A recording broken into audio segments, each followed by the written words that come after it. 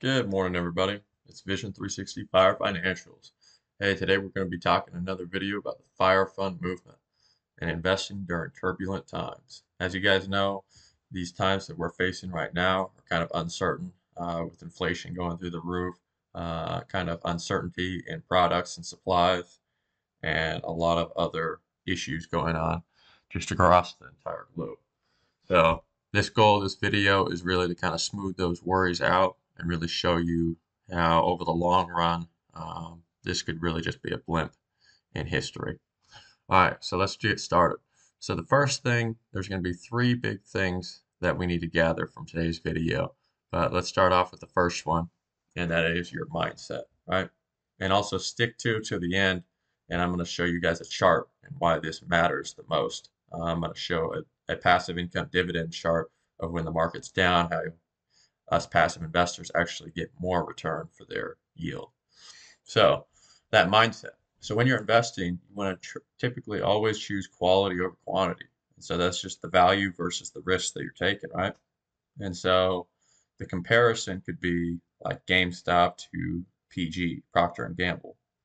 And so GameStop, as you know, is kind of fading out because there's so many other online retail websites, like Amazon and other other places, right, Walmart, etc., that are selling games and doing everything that GameStop is doing, and so it's kind of a dying out kind of uh, thing. Versus Procter and Gamble makes common household products, so like they're in the home and beauty uh, sector, so they make all kinds of things from toilet paper to cleaning wipes to uh, toothpaste, all kinds of goods, right? And so that's not going out of style anytime soon. So it's just a matter of picking companies that are always going to have a demand, right? And then also investing for the long term.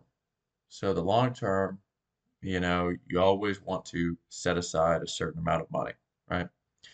And some people say 5 or 10% of your income for your working years.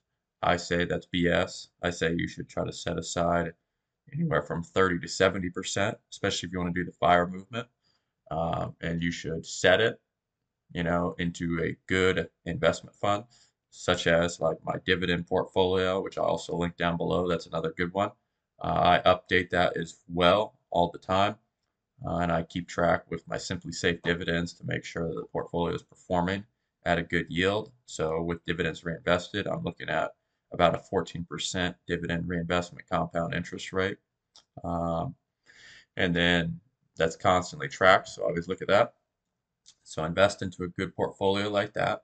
Also, kind of set it and forget it, guys. So don't be looking at it like multiple times a week thinking, oh man, I'm going to be rich overnight kind of thing. It's one of those things that you get rich over the next decade, you know, and it really shines over that time period, right? And then after that, it's just phenomenal.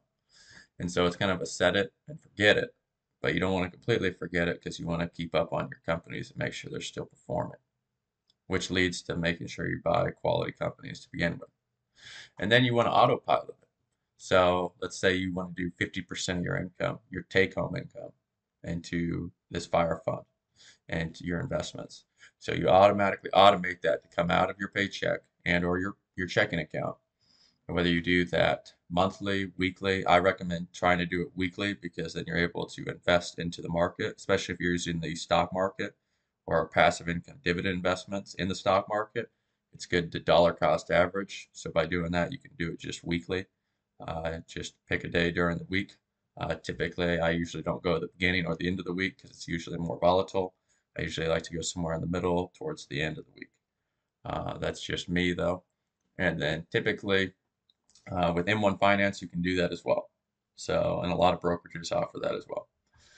And then Another thing is if you're going to check it, guys, try to just keep it to checking it no more than once a week, if not even just once a month. And you could even go further than that. Some people say only twice a year, you're good. So it really depends. But the more often you check it, the more problems could arise from trying to change things. Uh, believe me, I've had those issues myself. And then at the end of the day, you know, don't get discouraged, right? And so you're not going to see this account grow by millions overnight, but that's not the point of it. The point is to provide good, reliable passive income for you and your family uh, into the future, right? And so we don't care about only you know, the now or tomorrow. We care about 5, 10, 15 years, 20 years down the road, right? So generational wealth. So the next biggest thing we need to talk about is control. And so that's keeping your emotions in check. So really don't let uh, your investment, you know, be led by your emotions. So don't lead by emotions, right? Just only use them when helping to decide if a company is good or not. So what I mean by that is you're always checking the company's financial statement. And you can do that through multiple brokerages. They have that. And also Simply Safe Dividends, another good one. Uh, not a sponsor, but I really like them myself. I use them. Uh, so there's multiple places. You can even go on to Yahoo Finance. So you don't have to do anything fancy. But keeping those emotions in check is huge because when the market goes down, which is going to lead us into the next thing, 5, 10, 15, 20, 40%, maybe more overnight, um, you know, a lot of people are very uh, tested and want to sell. But that is the worst time to sell. It's actually the best time to buy. If you buy good companies to begin with, you know their financial statement and their mission has not changed since that crash in their share price, there's absolutely no reason to get rid of them. If anything, it's more of a reason to buy them more because it's a Black Friday sale at that point. Most people like to buy things 40, 50, 60% off or more. Uh, but when it comes to their stocks, they all run and try to sell them for that discount and lose a lot of money. So it makes no sense. So don't be that person. When everybody's scared, that's for you to be a little greedy and keep investing and or invest more. As long as you know what you're investing in is still good as it was yesterday. So that's really the last one is the market control, which leads into a little bit of the emotions a little too. And that is don't lose faith because the market is down, whether it be 5, 10, 15, 20, 40, 50, 60, 80%. I know those are some big numbers. But as a value and a dividend investor, you know, you're really able to snowball your investments more and more during a bear market. A bear market, if you guys don't know, is just something where the market is down for a consecutive long period of 5, 10, 15 years, uh, where the growth portfolios really don't gain anything over that entire period. But a dividend investor gets that dividend. And typically we see in bear markets that dividend is usually a higher yield because the share price is down, which causes the yield to go up because the payout is still, let's say, roughly the same, which we can actually look and find out typically what happens to the dividend yield as we look here on Simply Safe is about a 2% reduction overall, uh, which is not much considering the stock price of averaged a 32% reduction. So you're still able to reinvest at, you know, a 30% reduction for the same amount of dividend investment, therefore really snowballing your investment. Because you still have, we're getting, let's say, $2 from this company, and let's say the stock was $50 before the crash, let's say it's 25 now you're effectively buying twice as many uh, shares for the same price, or excuse me, twice as many shares for half the price. So it's a way better deal. It's like that Black Friday shopping, except for your portfolio, right? So now what I also want to talk about is really, you know, showing you guys this example, right? And so uh, let's let's dig into that a little bit. All right. So here's our example uh, with our dividend calculator on MarketBeat. So I just took a starting principal portfolio of $100.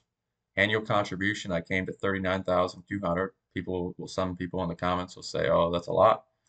But realistically, I looked at the 2020 and 2021 median average income, and it's about $80,000. Factor in a 30% tax, and we get to 50, 56, 57,000 after tax. And you may have even more write-offs, so you may even have more than that. Uh, and then we can factor in, you know, a 70% fire movement, which is very aggressive. And that comes to $39,200 which is our annual contribution to our portfolio. We can factor in a 15% long-term dividend tax rate because they're qualified dividends, the majority of them. And that yield, I just use a 6% because typically during a market downturn, the yields for companies which are now say 3 4% are usually 6 to 10%. So six is still pretty conservative then with that metric. And we can figure that they're still going to keep growing that dividend yield um, as time goes on by about, you know, two to five percent. And it can be even higher than that. So I just took three and then did over 15 years. You can see in 15 years time, you guys will then exceed your W2 income or whatever your income was for generating this portfolio. And now you're actually at over $90,000 in annual dividend income off of this portfolio. And that's just from a 0% uh, price appreciation, right? But you can see here the exact same metric, except saying the share price went up 3% yearly. That drops you almost $30,000 in dividend income. And that's because the share prices continue to climb. And so your dividends were buying less uh, shares. So you can see why it behooves of you to have uh, more buying power in a bear market because you're able to buy a lot more bang for your buck. So this is why I always show value investors why it's crucial to continue to buy and you know forbear and kind of get rid of the idea of the naysayers out there that are all running and losing a lot of money. As long as you're investing in good solid investments, none of that should matter. And lastly, I want to leave you guys with this, and that is buy more when things are on sale and be humble when others are greedy. And make sure to be greedy, aka buy more when others are scared. The markets are down and people are selling off at a discount. Because that's the true path to wealth. And that's a famous quote, not word for word, but from Warren Buffett. All right. Hey, I hope you guys enjoyed today's video stay in there. Remember, we'll all get there together. This is the Fire Fund movement in the Vision Fire Financials channel. You guys take care and have a great day.